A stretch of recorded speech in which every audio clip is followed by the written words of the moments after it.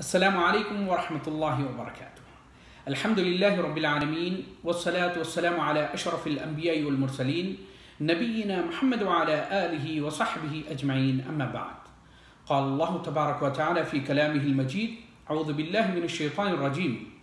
إنما يفتري الكذب الذين لا يؤمنون بآيات الله وأولئك هم الكاذبون. محترم سامعین کرام اللہ تعالیٰ کا بے پناہ شکر و احسان ہے کہ اللہ تعالیٰ نے ہم تمام کو اسلام جیسی عظیم نعمت سے نوازا۔ ابھی میں نے سورہ نحل کی ایک سو پانچویں آیت آپ کے سامنے تلاوت فرمائی، جس میں اللہ رب العالمین فرماتے ہیں کہ جھوٹ و افطرا تو وہ لوگ باندھتے ہیں جو اللہ تعالیٰ کی آیات پر ایمان نہیں لاتے اور وہی لوگ جھوٹے ہیں۔ محترم سامعین، جس موضوع کو لے کر میں آپ کے سامنے حاضر ہوا ہوں وہ ہے اپریل فول کی حقیقت۔ آج دیکھنے میں اور سننے میں آتا ہے کہ لوگ جھوٹ سے کام لیتے ہوئے کسی کو مذاق کسی کے ساتھ مذاق کرنے کے لیے، کسی کو کچھ ہنسانے کے لیے جھوٹ بولا کرتے ہیں۔ یاد رکھیے اسلام میں سچ بولنے، سچ پہ عمل کرنے اور سچ کے ساتھ زندگی گزارنے کو ایک مومنانہ زندگی سے تعبیر کیا ہے۔ اور جھوٹ بولنے، جھوٹ پر عمل کرنے اور جھوٹی زندگی گزارنے کو منافقانہ زندگی سے تعبیر کیا ہے۔ جیسا کہ نبی کریم صلی اللہ علیہ وسلم نے منافق کی جہاں نشانیوں کا ذکر کیا ہے، آپ نے فرمایا، آیت المنافق سلاس اذا حدث كذب واذا وعد اخلف واذا تمنا خانہ کہ وہ منافق کی علامت یہ ہے کہ جب بات کرے تو جھوٹ بولے، اور جب وعدہ کرے تو وعدہ خلافی کرے، اور جب امانت رکھائی جائے تو امانت میں قیانت کرے۔ دوسری حدیث میں ہم کو نبی کریم صلی اللہ علیہ وسلم نے ارشاد فرمایا کہ تم لوگ اپنے سے پہلی قوموں کی قدم بقدم پیروی کرو گے۔ اگر وہ لوگ گوہ کے سراغ میں داخل ہوں گے تو تم لوگ بھی اس میں داخل ہونے کی کوشش کرو گے۔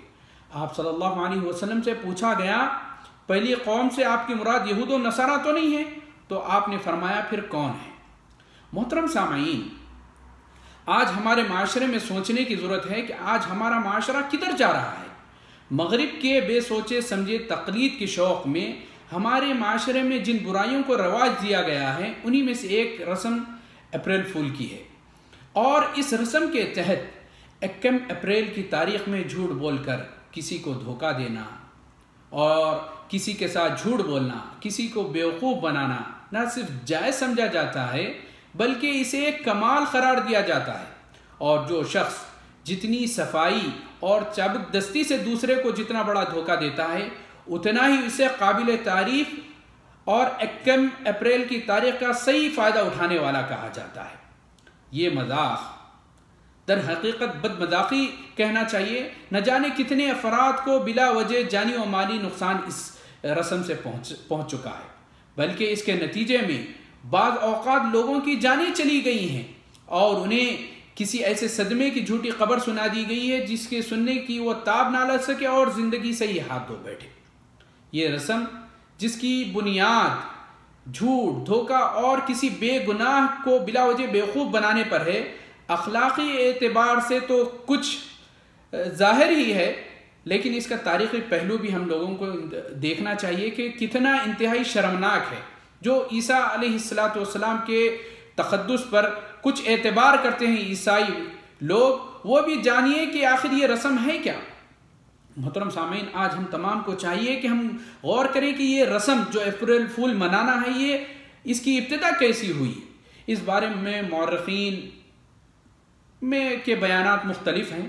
بعض مصنفین کا کہنا ہے کہ فرانس میں سترہویں صدی سے پہلے پہلے سال کا آغاز جنوری کے بجائے اپریل میں ہوا کرتا تھا۔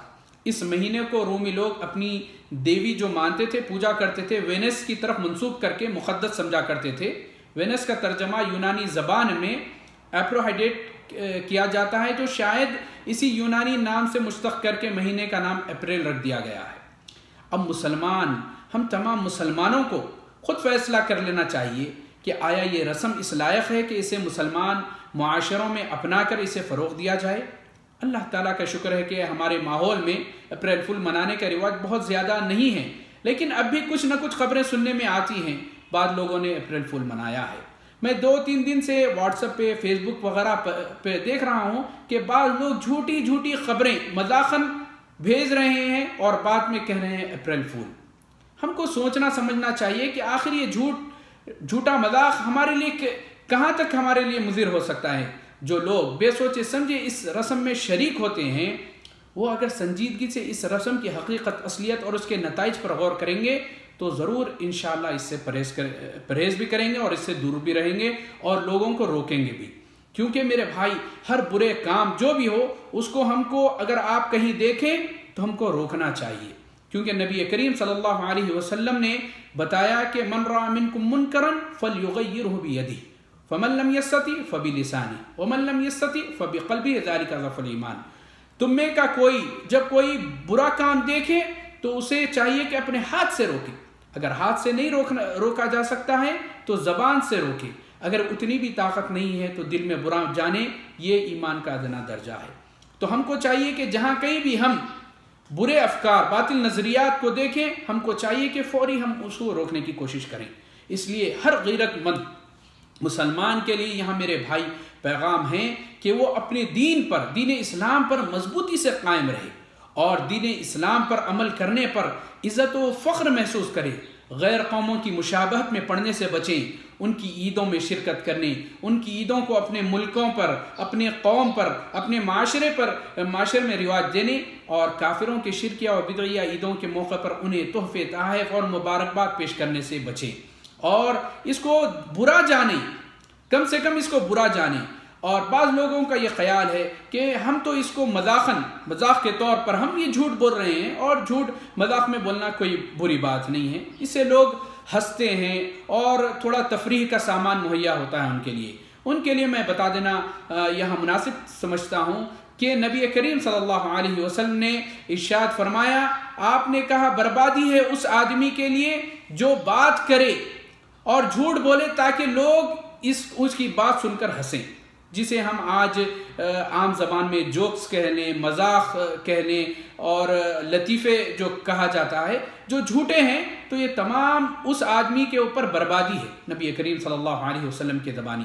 تو ہم کو چاہیے کہ ہم اس قسم کی بیجا اور مضر جو رسومات آج معاشرے میں رائج ہو چکے ہیں، اس سے بچیں اور دوسروں کو بھی بچائیں۔ اگر آپ کسی چھوٹے سے بچے کو بھی کہتے سن لیں، تو آپ اسے روکیں کہ یہ مسلمانوں کا شیوانی ہے۔ مسلمان ہمیشہ سچ بولتا ہے اور سچ کو فروغ دیتا ہے۔ اللہ تعالیٰ سے دعا ہے کہ اللہ تعالیٰ ہم تمام کو ہمیشہ سچ بولنے اور سچ کے ساتھ زندگی گزارنے کی توفیق عنایت فرمائیں والسلام علیکم ورحمۃ اللہ وبرکاتہ۔